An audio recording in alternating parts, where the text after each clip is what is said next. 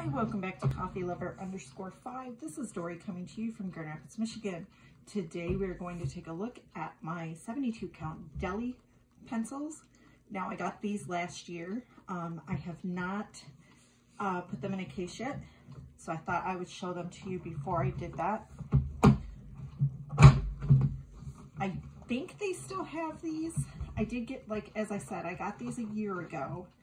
Um, they do have this nice, I mean, you can use this as a blotter page underneath. So um, when you're using alcohol markers or whatever, so it doesn't um, seep through your pages or whatever.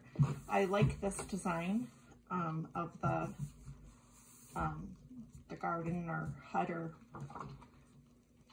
those are, I think those are cherry blossoms, right? So anyway, these have beautiful colors. They lay down like a charm. So this is the first tray.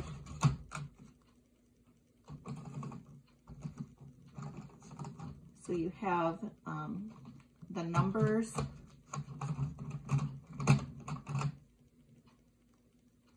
They are written.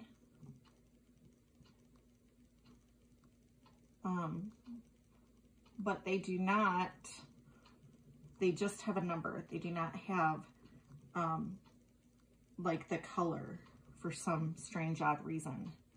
Um, I don't think. Nope. Because this says Deli and then this has the number and then this just says color pencil. So um, obviously I will have to swatch them to actually find out what color they are. But um, like I said, these were not very much money last year when I bought them.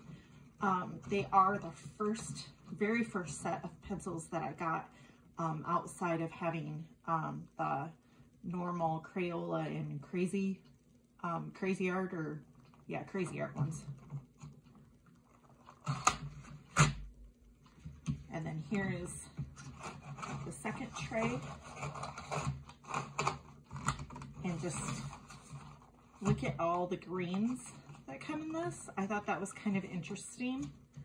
Um, and a lot of like the, the brownish colors, which a lot of my other sets don't necessarily have. So um, I really like that fact. And then you have the little lighter, you know, the lighter ones up here, um, which might be, you know, some of these, oh, sorry, didn't mean to tap the camera, um, small workspace. Um, but, you know, you have the lighter ones here, which some of them are pastel type, like this one and this one over here. But anyway, hope you guys like these. Um, I would definitely recommend them. I would have you guys try them out. I will be doing some swatching videos at some point. I just haven't had a chance. Um, still trying to play catch up. So until next time, bye.